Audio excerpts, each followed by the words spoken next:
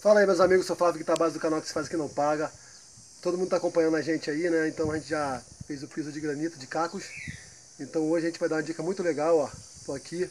É, vou pedir a vocês que entrem no nosso canal aí, que se faz que não paga no YouTube, pô, faça parte da nossa família, compartilhe, dá aí um likezinho aí, tá? E se inscreva no nosso canal, tá bom? Estamos também lá no Facebook, a que se faz aqui não paga, ideias, ideias reformas e decorações.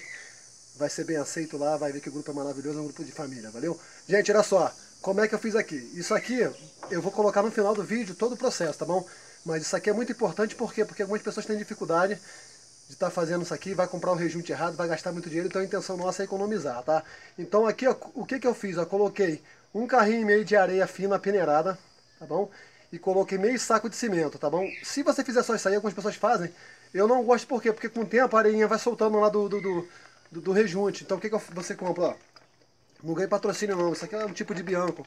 Isso aqui é o Sica 1, isso aqui serve né, para evitar que o cimento fique esfarelando e, permeabiliza. É, tem vários benefícios, então vale a pena comprar, paguei 14 reais.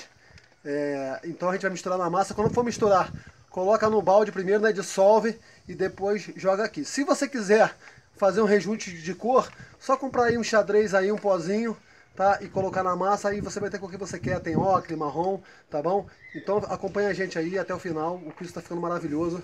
É, esses cacos de granitos, né, muita gente dá na moraria aqui, eu consigo de graça, então vale a pena porque você vai ter um custo muito baixo e vai ter aí um piso para toda a vida aí no seu quintal, na sua varanda, tá bom?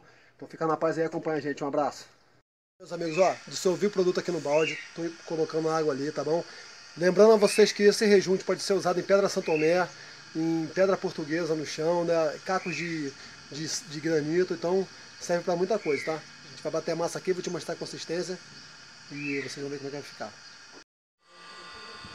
Meus amigos, ó, consistência da massa, tá vendo?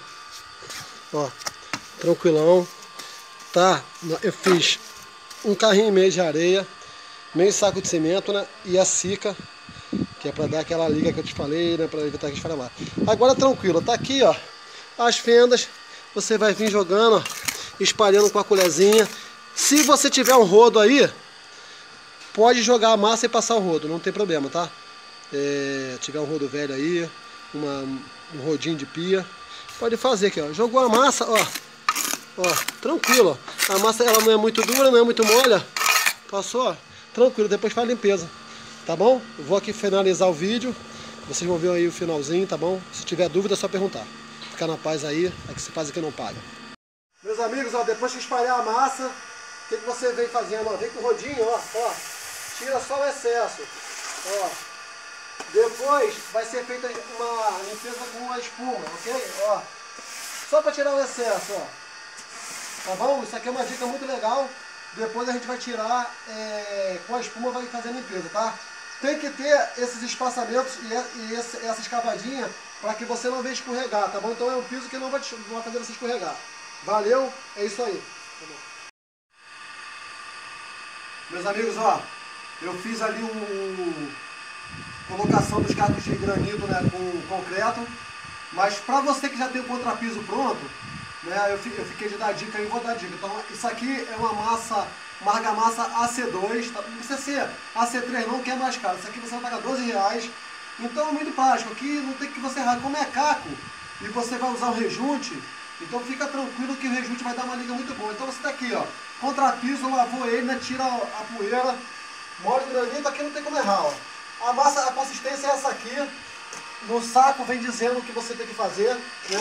Colocou a massa, espalhou com a colher.